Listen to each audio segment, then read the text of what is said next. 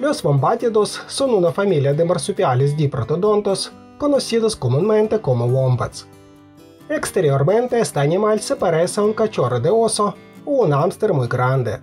Y en cuanto a la estructura del cuerpo y las partes individuales del cuerpo, tiene mucho en común con el koala, aunque en realidad su relación es bastante lejana. Hay tres especies de wombat endémico, que son el wombat común, que es la especie más bien conocida.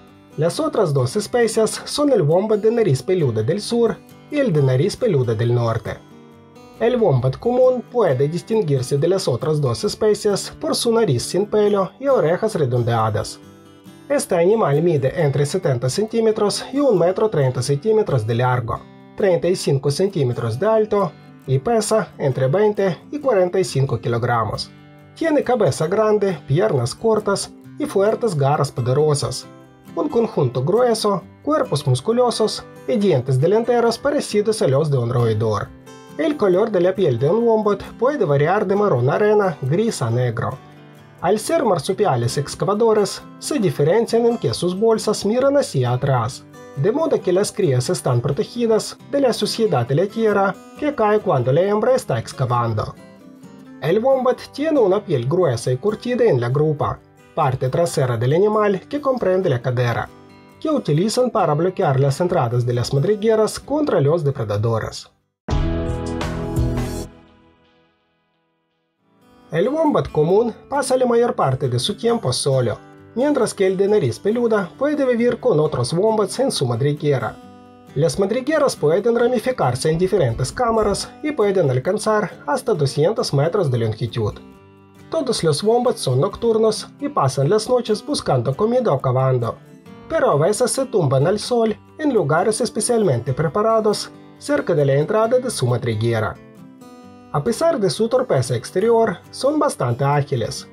Al escapar del peligro, un wombat puede trepar fácilmente a un árbol, sumergirse en un estanque o simplemente huir. Su velocidad puede alcanzar los 40 km por hora. Todas las especies de wombat viven en Australia y Tasmania, en montañas, bosques y praderas. Los wombats son animales herbívoros, lo que significa que solo comen vegetación. Algunas comidas comunes para un wombat incluyen raíces, pastos, matorrales, hierbas y corteza. El metabolismo de los wombats es muy lento. Necesitan hasta 14 días para digerir los alimentos. Además, los wombats son los consumidores de agua más económicos de todos los mamíferos después de los camellos. Solo necesitan 22 miligramos de agua por un kilo de peso corporal por día. Una de las características que distinguen a los wombats de otros animales es que sus heces tienen forma de cubos, esto se debe a la estructura especial de su parte final del intestino. Y también, según una de las versiones, esta forma ayuda a que los excrementos no rueden de las piedras y los troncos de los árboles, donde los wombats los dejan marcando así los límites de su territorio. El wombat no tiene muchos depredadores naturales, excepto los introducidos, perros salvajes y zorros.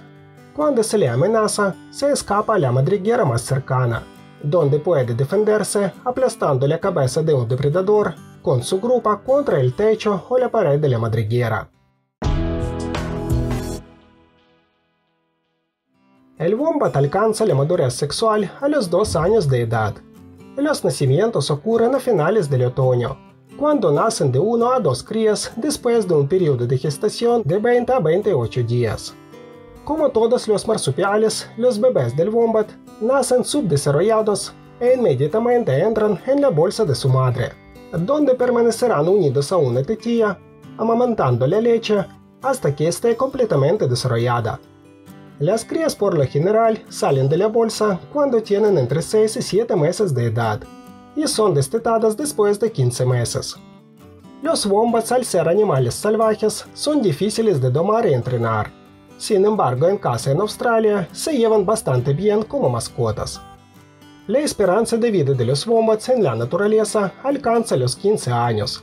En cautiverio pueden vivir hasta 25 a veces más. Deja tu comentario, dale a me gusta, suscríbete a este canal.